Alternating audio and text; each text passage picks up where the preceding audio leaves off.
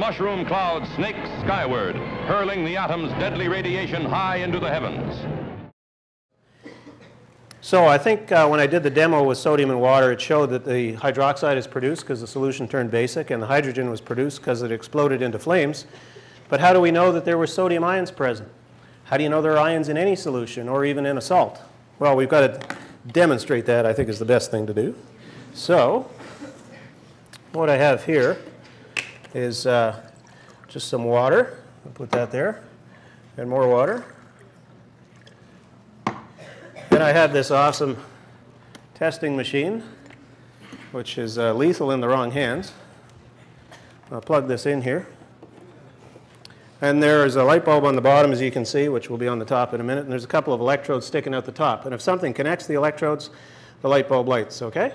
So obviously a piece of metal conducts electricity very well. The electrons fly through it and the light bulb lights up. Now, how about water? Is that an electrical conductor? Uh, some people, no, it's not distilled. Of the tap. Uh, some people say yes, some people say no. What do you think? Well, not enough to light up the light bulb. But if I was having a bath in there and somebody threw this in, I'd be dead. Okay? There is enough electrical current passing through there to zap a person, but not enough to light up a 20 watt light bulb or whatever this is. So not a whole lot of current travels through. In a light bulb like this, you might have an ampere of current to light it up nice and bright. In the bathtub, it only takes milliamps to go through your body to kill you. Okay, so distilled water, or just plain tap water, not much conductivity. Now, what is it that carries charge? In the case of, of this thing, it's electrons being transferred through the spatula, and the electrons are mobile in the metal, so they are what carry charge. But what if we have something in solution, like some sodium chloride, common table salt,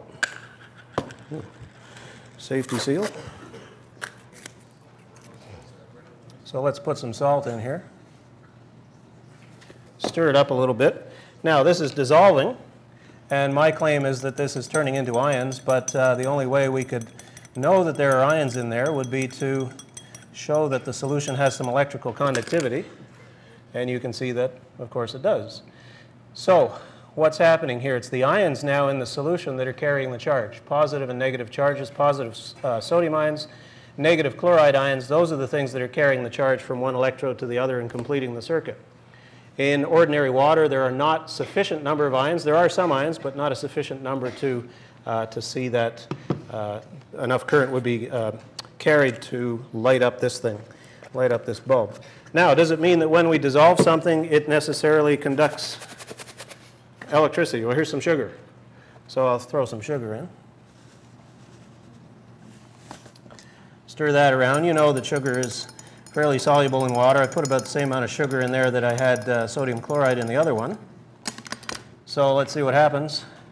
Zippo. So just because something dissolves in water does not mean that it has separated into ions. The sodium chloride does, the sugar doesn't, but yet it's still soluble. So there's two different things going on in there. This, by the way, tells you how you can really kill someone. You throw sodium chloride in the water first and then throw the toaster in the bathtub. One of my favorite shows is called Mythbusters. I just I laugh my head off when they do things, and they they demonstrated this, and they threw sodium chloride in and threw their dummy in, and yes, he got electrocuted more than if there was no sodium chloride in. Somebody have a question? Your body has salt on it too, right? Your, your body has salt on it. That's true. Just not enough. If you put more in, you get more conductivity, and the guy is even deader.